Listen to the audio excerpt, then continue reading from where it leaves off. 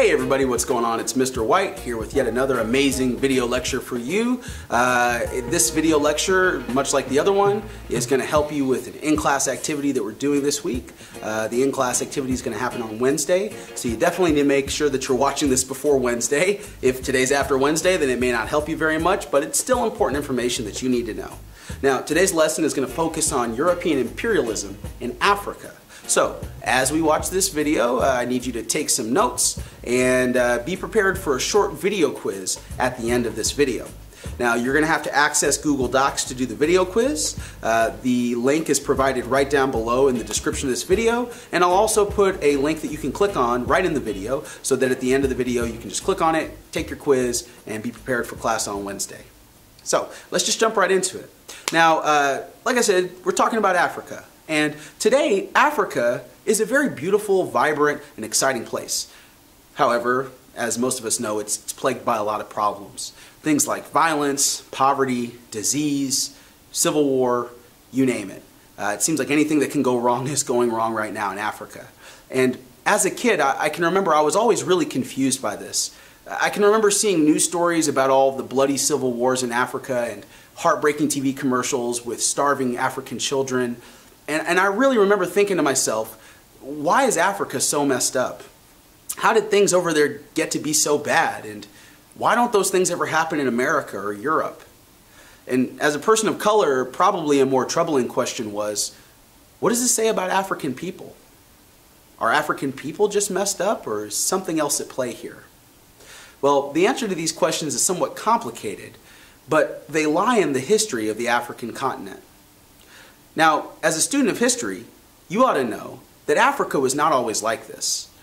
Remember that African history is full of great civilizations, like the Egyptians, and brilliant scholars, like, like the scholars of Timbuktu.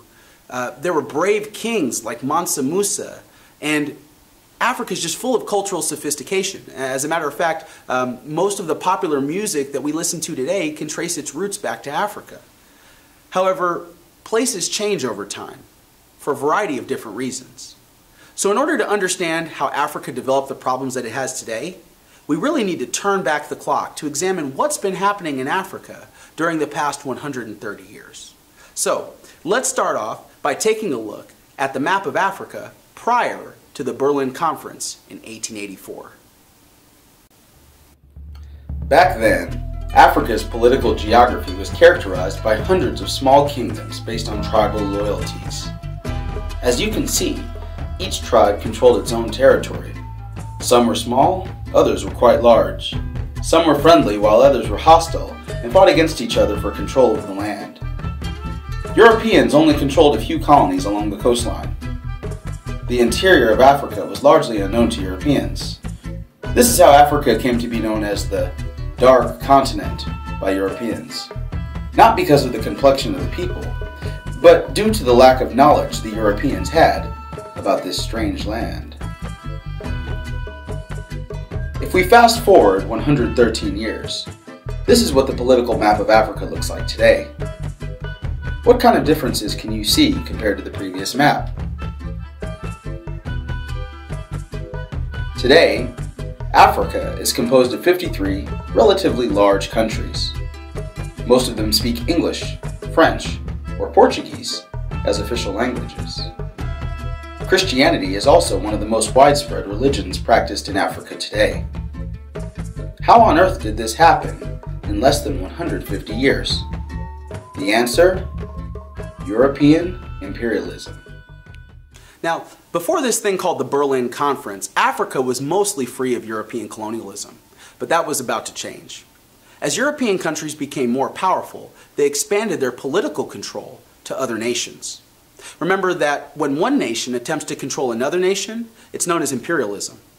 And by this time, the Industrial Revolution was also in full swing. Europeans needed more and more raw materials to supply the ever growing number of factories sprouting up all over Europe. By the 1880s, European technology had also increased greatly. New modes of transportation like railroads and steamships made travel much faster and safer than ever before. Better medicines allowed Europeans to explore tropical regions of the world without fear of contracting deadly diseases. and state-of-the-art weapons gave European armies an immense advantage over less sophisticated militaries of other nations. Now, as Europeans became more and more powerful and had more and more success dominating other nations, some people began to believe that European culture was vastly superior to all other cultures in the world. Many thought that perhaps even white Europeans had some sort of a racial or, or natural advantage over other types of people. If this was the case, they reasoned, then it was the white man's burden, meaning like the white man's responsibility, to civilize and control less advanced peoples of the world. Since Europeans believed that they had a mission to civilize the world, they began to create plans to dominate the places that they believed were naturally inferior. This belief, along with a strong desire for more wealth and resources and power, led Europeans to seek out new colonies in places like Asia and Africa. Europeans did not want to go through the trouble and expense of fighting each other for the land they desired in Africa. Instead, they decided to have a civilized meeting to divide the lands they intended to conquer. In 1884, a meeting was convened in Berlin, Germany, to negotiate the terms of a peaceful division of Africa into European colonies. This meeting became known as the Berlin Conference because of the location where it was held. Fourteen nations, including the United States, were invited to send delegates to participate in this meeting. Unfortunately, no one bothered to tell the Africans. Of the 14 nations involved, none were from Africa. None of the leaders at the conference were Africans. Most of the delegates had little or no knowledge of the complexities of African culture or politics. The division of the continent came down to one thing the location of natural resources that the Europeans desired. The delegates at the conference did not care about the tribal boundaries. They just wanted to exploit Africa's natural wealth. Europeans were also concerned about preserving the balance of power each wanted to gain more colonies as a way to ensure that no European country became more powerful than the rest. The first topic of discussion at the conference was to negotiate the use of two important rivers, the Congo and the Niger. These rivers would remain neutral and open to all European powers for transportation and trade. Every country had their own reasons for claiming pieces of Africa. For example, the British wanted to secure the Suez Canal in Egypt because it gave them a shortcut to their most important colony in Asia, India. The French wanted to control West Africa because of the discovery of large deposits of gold, iron, and gemstones. The Portuguese and Dutch wanted to expand and strengthen the colonies they already controlled in southern and eastern Africa. By the conclusion of the conference in 1885, the British and French wound up controlling the largest portions of the continent. Only two African countries remained independent of European rule Ethiopia and Liberia. Despite the negative effects of colonization, Africans did benefit in some ways. Europeans brought new technologies and built infrastructure such as roads, telegraphs, railroads, and canals all across Africa. They also helped to spread education and introduced many Africans to world trade networks. Now, at the end of the Berlin Conference, the European powers moved swiftly to dominate the areas of Africa they had chosen. Most native Africans were treated like second class citizens in their own lands under European rule. They weren't allowed to participate in the colonial governments, and in most cases, they received really low pay working for European companies. In some cases, places like South Africa instituted racial segregation to separate the black Africans from the white Europeans who were moving in. Some colonial powers even found that it was very easy to control the Africans by taking advantage of old tribal rivalries among them. Exploiting these tribal feuds made it easier for a relatively small number of Europeans to dominate millions of Africans. One of the most infamous examples of this practice of divide and conquer happened in a place called Rwanda, which is located right here in Central Africa. Pre colonial Rwanda was a multicultural society composed of two main tribal groups the Hutu and the Tutsi. The Hutus were primarily farmers, while the Tutsis were herders. Despite some cultural and ethnic differences, these groups lived peacefully together under a Tutsi monarchy. During the Berlin Conference, this area of Africa was claimed by the Germans, who hoped to exploit the natural resources found in Rwanda.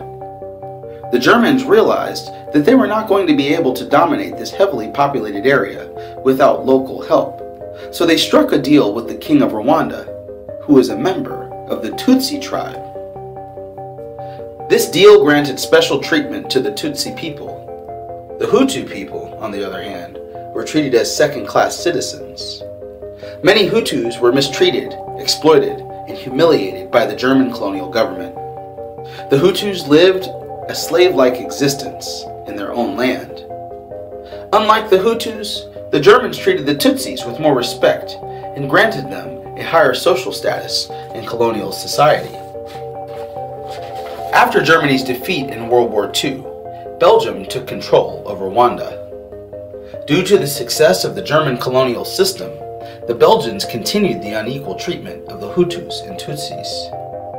The Belgians even made people get special ID cards to identify which tribe they were associated with. By the 1960s, Belgium decided to grant independence to Rwanda. The first democratic elections took place in 1962. The majority Hutu population elected a Hutu led government for the new country. Almost immediately, this new government began persecuting the Tutsis as revenge for their collaboration with the Germans and Belgians. Fearing for their lives, millions of Tutsis fled from Rwanda to neighboring countries. This further established the Hutus as the majority of Rwandan society. By the late 1980s, many of these Tutsi refugees decided to return to their homeland. As these people began to immigrate back into Rwanda, old hatreds began to flare up once again. Many in Rwanda felt like the Tutsis were unpatriotic traitors who were returning to steal land away from the Hutus. Conflicts between the Hutus and Tutsis began to break out all over the country. By 1994, the situation was on the verge of exploding. When a helicopter carrying important Hutu government officials was shot down by a terrorist organization, the Tutsis were immediately blamed. The Hutu led government called on all patriotic Hutus to take revenge upon any Tutsis or Hutus who were sympathetic to the Tutsis. Government death squads were sent into towns and villages to rape, mutilate, and murder anyone who was associated with the Tutsis. Even regular people were involved in this mass killing. Hutu villagers began using clubs, kitchen knives, and machetes to brutally murder their Tutsi neighbors. Within a period of 100 days from April to July 1994, nearly 1 million Tutsis were killed by Hutu militias. The United Nations and other international peacekeepers had to be called in to stop the violence. This tragic incident shocked the world and became known as the worst genocide in history since the Holocaust of World War II. All this suffering and bloodshed was directly related to the phenomenon of European imperialism in Africa. Okay, guys, so the point I'm getting at is this. Many of the major problems that we see in Africa today stem back to the fact that European powers didn't take tribal and cultural differences into consideration when they created the current map of Africa at the Berlin Conference.